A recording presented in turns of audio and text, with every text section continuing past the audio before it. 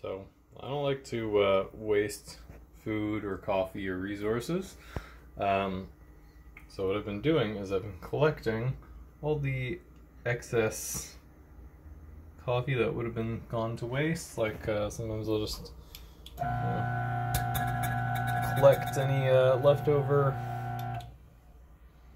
You probably don't want to just add fines to it, but I think sometimes I was switching uh, between coarse and uh, usually I'm on espresso setting, and then sometimes I'll try like an AeroPress or pour over just to compare different grinders. Um, so I'll purge a couple beans through just to make sure they're uh, you know not uh, you know there's no espresso uh, size grinds mixing in from the chute or whatever. So you want to push through.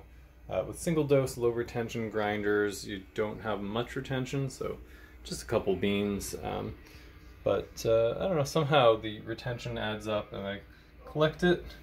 Um, when I collect it, keep it in an airtight jar. And today I pulled a shot with that. So normally I'm grinding at uh, grinding for 16 gram shots. I did an 18 gram shot with this because it's not fresh. It's been like collecting for two months, maybe one month, maybe three months. The stuff on the bottom's probably like four months old. Um, so maybe don't want to use that, but uh, uh, I just used a good 18 grams uh, from this, which it was filled near the top. Uh, and surprisingly, it, uh, it's not bad. Um, so what I did, it did flow fast. So I think I got like 32 grams out in 24, 26 seconds, and I had to slow down the flow a little bit using uh, flow control. Um, so I saved it a little that way. Uh, it was a little sour, but it's. I think that's. I, I probably should have let it flow a little longer since it flowed fast anyway.